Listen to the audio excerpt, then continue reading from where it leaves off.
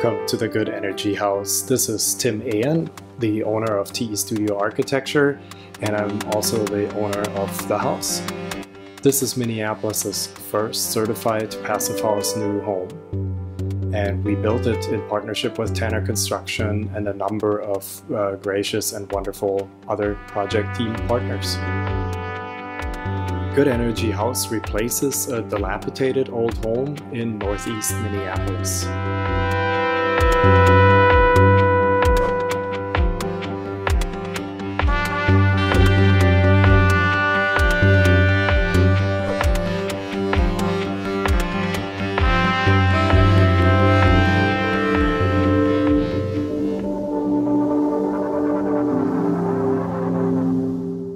Good Energy Haus is a two-story building.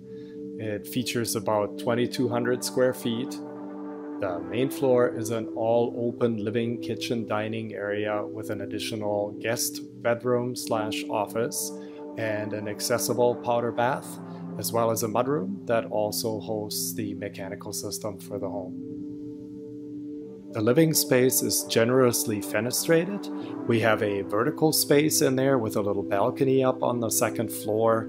And the daylight uh, in Minneapolis is wonderful, particularly in the winter months, and it can really penetrate that space deeply from the south and also from the west and illuminate the space basically all day long without artificial lighting.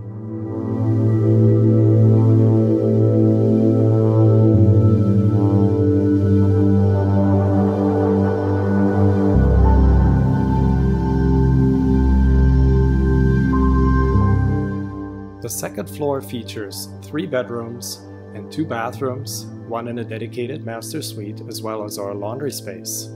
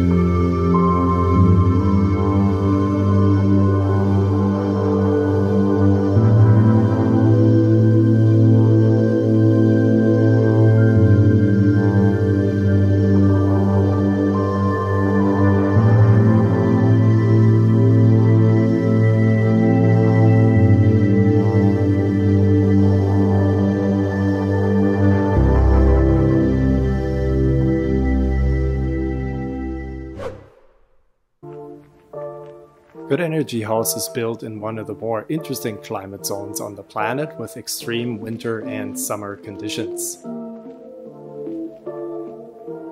The foundation is entirely wrapped in EPS foam and we spent a great deal of uh, detailing and time on air sealing the building really, really well.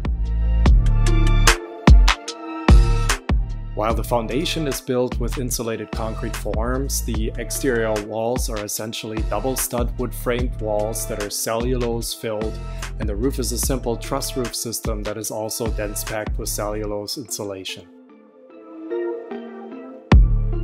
The windows are German made triple pane insulated frame units.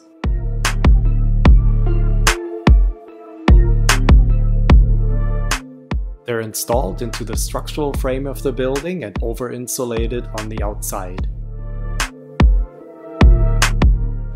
I'll open this up here. So we have exterior motorized shades. I pointed that out on a couple of occasions here to control the heat that comes through the windows, also give us privacy, uh, control glare. This is app controlled. Uh, we're working with Loxone um, and Hella. Hella manufactures the uh, shades themselves, Loxone is our control partner. And what we can do here in the app is we can drill down to a room and decide we're gonna send this uh, into shading mode. Uh, and now you can see the shade starting to move. And what it's gonna do here is it's gonna come down all the way and then right back up so that the individual slats go into a, a position that is based on today's sun angles uh, to perfectly shade this room while maximizing daylight. Um, and that's one of the great things of working with a strong controls partner, in this case Loxone. They have all this built into their product. Um, this thing is smart enough to shade individual windows uh, based on sun and indoor temperature in our home. Um, it can do that individually for each facade as well. So in the morning on the east, uh, midday on the south, and then in the evening on the west side. And you can see it shows the perfect uh, shading position. At any moment in time, we can override this to our heart's content.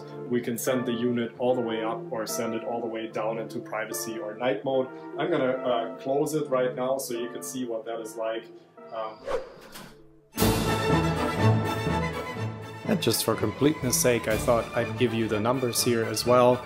The airtightness strategy worked really well in this house. We achieved a 0.22 ACH 50 and in general we met all the passive house criteria for the home. Currently there's no PV system installed on the roof for a Passive House Plus certification as we are completely powered by wind power.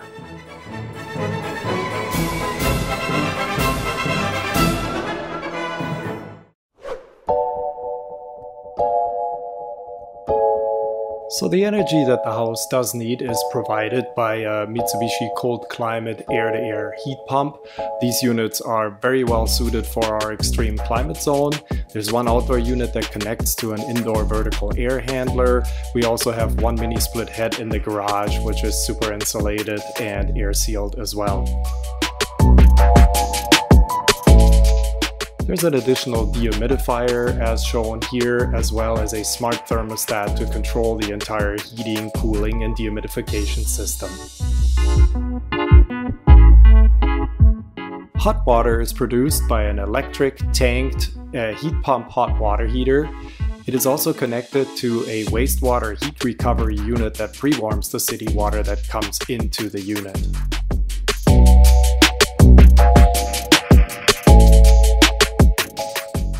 On the second floor, on the north side, we decided to make an upstairs laundry space. So we have a washer and a dryer side by side. Uh, it's a high efficiency washer with a heat pump dryer, which is really the best choice currently for a passive house. So this unit, extremely energy efficient and uh, little waste heat and obviously the main selling point, there's no exhaust. So the effluent from the machine goes in the same drain as the effluent from the washer.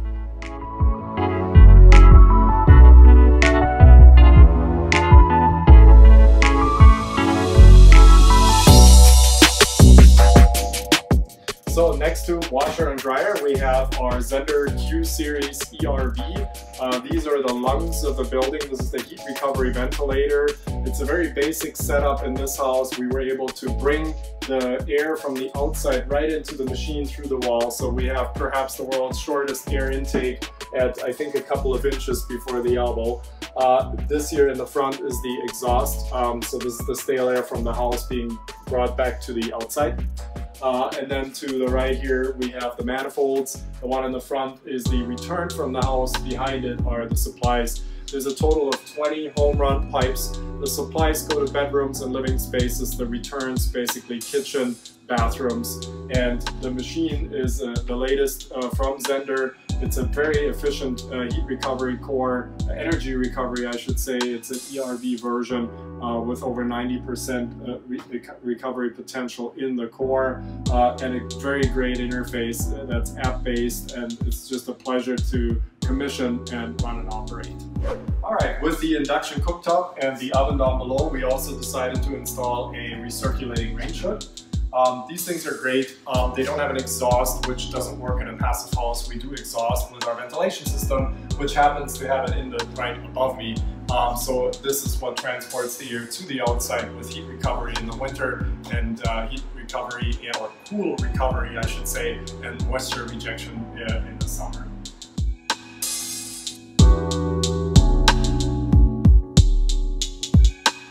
And just some final thoughts. The Good Energy Haus is a carbon neutral site. Um, we also used extensively sustainable and renewable materials and local resources to make this building as we always do in our practice.